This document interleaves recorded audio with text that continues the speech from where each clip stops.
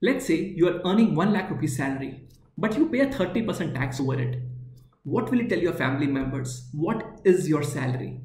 And the answer is simple. You will say it's 70,000 because 70,000 is post-tax what you get in your hand. The same thing applies for a fixed deposit. If a bank is offering you 7% return, but you are paying taxes over it because whatever interest you generate on a bank fixed deposit gets added to your income. And based on your tax slab, you have to pay income tax on the interest which you earn on a fixed deposit. If you are coming in the highest tax bracket, you have to pay approximately a 30% tax.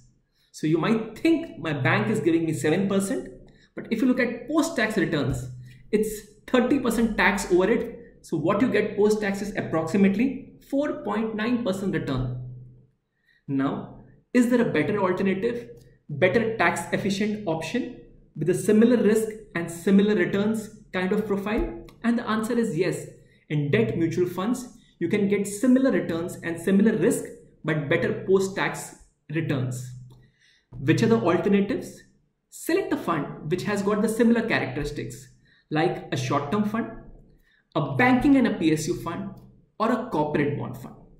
A bank fixed deposit is generally with a horizon of 1 to 3 years.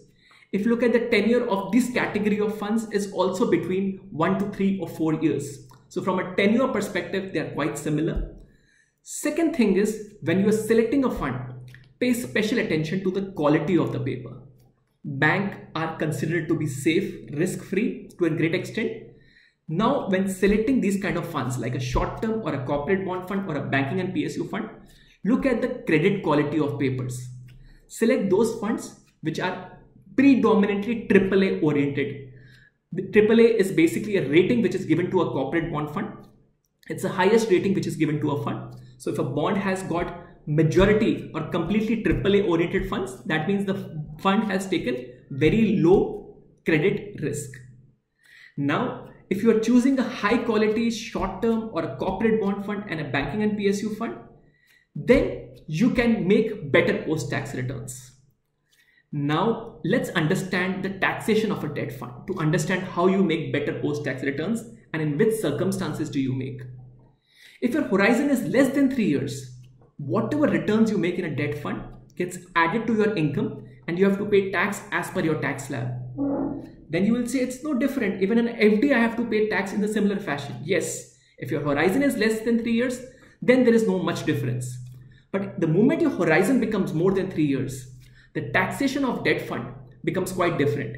So as per definition, anything which is less than three years is called short term. Anything which is more than three years is called long term. So long-term capital gain tax in a debt fund is 20% with indexation. So what happens? First of all, your tax rate comes down, plus you enjoy the benefit of indexation. So you, if you, even if you make similar returns like a fixed deposit, what you make better is very better post-tax returns in a debt fund.